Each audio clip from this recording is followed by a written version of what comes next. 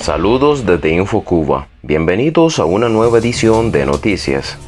Operativo policial por cartel antigubernamental en Avenida de La Habana, pintadas contra la dictadura y el gobernante Miguel Díaz-Canel aparecieron en el muro de un edificio aledaño al cine Metropolitan en el habanero municipio de Playa, provocando otra escena de investigación criminal por parte de la policía del régimen cubano. Una furgoneta de criminalística se desplazó al municipio Playa para investigar lo sucedido y encontrar pistas sobre la posible autoría del cartel, una actuación que se ha repetido en anteriores ocasiones con aparición de letreros contestarios en Cuba.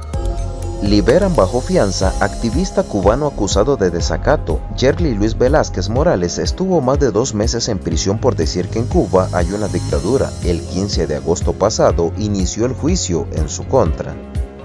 Identifican a represores de madre cubana que arremetió contra Díaz Canel. Activistas y organizaciones de la sociedad civil cubana identificaron a los represores de la seguridad del Estado que se apersonaron este pasado viernes en casa de Trilsil Denis, la madre cubana que arremetió contra el gobernante Miguel Díaz Canel por los apagones, la escasez, la inflación y la crisis generalizada en el país, confirmado que es el mismo represor de los familiares de los presos políticos de Arroyo Naranjo, que dicen que hace algunas semanas no les sacó Sabel, es su alias, Necesitamos ayuda.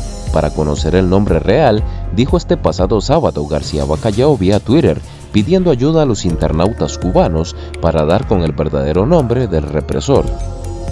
Exlocutora cubana denuncia pésimas condiciones de las clínicas estomatológicas, sillones obsoletos, sin material, en condiciones infrahumanas. Ya ni la pastica refrescante que nos aplican con el cepillo para dar punto final a la limpieza e higiene bucal tienen. Tampoco amalgama, describió Marisela Alfonso. Gobierno cubano publica Ley de Protección de Datos Personales. Según la regulación, toda persona tiene derecho a acceder a sus datos personales, a exigir su no divulgación y a que se le respete su intimidad personal y familiar, su propia imagen y voz, y honor e identidad. Pero habrá que ver cuál será realmente su instrumentación en la sociedad cubana y si se podrá aplicar en todos los casos en que el interés político del Estado se imponga la protección de la privación de todos los ciudadanos.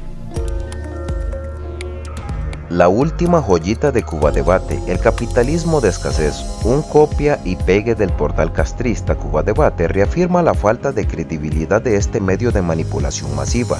Hay algo de paradójico en el dicho titular, cuando se intenta asociar capitalismo con escasez y en el socialismo que tenemos, miseria, hambre de sección, apagones, maltrato policial, decomisos, consignas, promesas, golpes, hostigamiento y continuidad y mucha continuidad.